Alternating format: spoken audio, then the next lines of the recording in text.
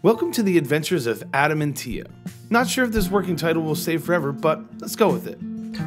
So, we're absolute beginners at all of this the boat ownership, sailing, video making, the whole nine yards. This series is inspired by a dream shared between my wife Tia and I.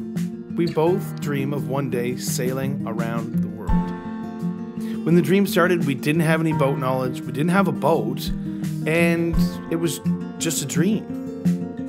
But since then, we got the boat, we did some stuff with it, and we filmed it. And that brings us to the entire purpose of this introduction video. We have things coming. Now, we don't claim to know anything about boating or boat ownership, and we made a lot of mistakes along our way, and we're gonna continue to make mistakes. But this is all on that path towards that huge dream of sailing around the world.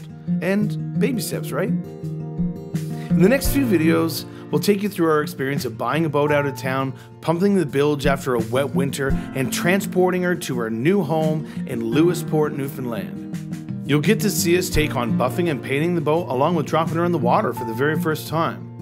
You'll also get a small taste of our first few trips out in Notre Dame Bay in Newfoundland. Though we're having an amazing time, we are absolute beginners. Let us make the mistakes so you don't have to.